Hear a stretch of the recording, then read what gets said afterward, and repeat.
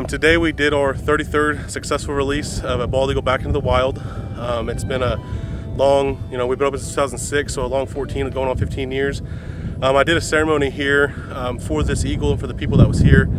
Um, the Iowa tribe and other tribes in the United States and throughout, you know, the Canadas and, and you know, Mexico, um, we use eagle feathers for traditional reasons. We believe, my tribe believes that the eagle was the only thing to see the face of the Creator.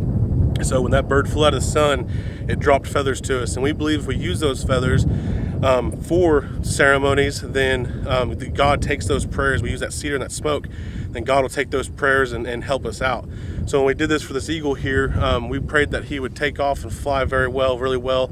And I prayed for all the ones that were here, the ones from the Eagle Aviary, my family, my little girl, and the ones from Oklahoma Fish and Wildlife uh, Department. Um, so we use these feathers in the ceremony for um, a lot of good things. So um, I was given this right by my uncle Victor um, when I was about eight years old, and I've slowly learned the craft of it and able to be able to use that cedar and that tobacco and those feathers for that purpose. Um, that's a little bit about what I did.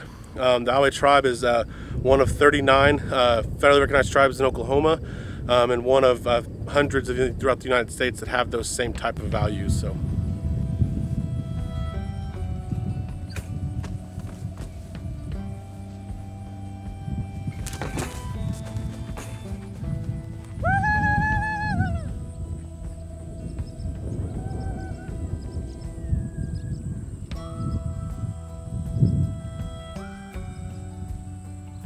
I mean, I thought it was really cool. I mean, the, the, the fact that, that they can rehabilitate these animals and put them back in the wild uh, is just is just tremendous. Uh, I want to thank uh, thank the tribe for all their hard work and the Oklahoma Department of Wildlife for what they do and the support that they have uh, for these beautiful, beautiful, majestic animals. You know, as a game warden, it's awesome to see uh, the birds that we pick up get released. It's, we don't always get to do that, so it's an awesome experience. And then to, to see the ceremony that they, they do to go along with it, um, it, it makes it that much more special. So, pretty awesome.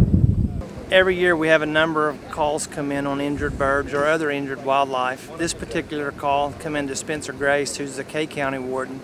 The bird was actually in Osage County, so Spencer relayed the call to me uh, I went out to the site, and the bird was right off uh, Highway, Highway 60, which runs through Osage County.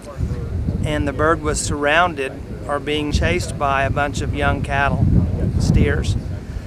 And there were about 10 cars that were watching this eagle because he was so visible to the highway. And so I, I showed up and I went out into the field and uh, caught the bird with a net and at that point, once I knew that it was an eagle, I contacted the, the Iowa tribe and we agreed to meet later that night. And so that was the process and how we come about the eagle. It was from originally from the public uh, calling, trying to get help for the bird, the call coming to, to Spencer, coming to me, and then I called the Iowa tribe.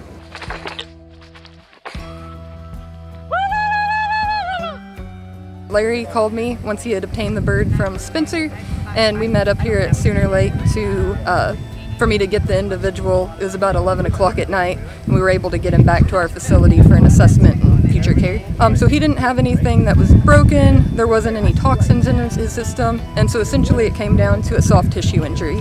And those can take a short amount of time to a long amount of time to heal.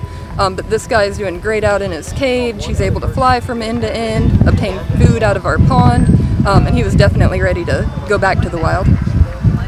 So we're a unique state that we have both uh, golden and bald eagles here in Oklahoma. Um, we're run by the Iowa Tribe of Oklahoma, in which eagles are a very, very important uh, part of their culture. And so we invite anybody that wants to come out to learn about eagles, how they play into the tribal uh, culture, how they play into the ecosystem, uh, to come out and visit us at the Grey Snow Eagle House.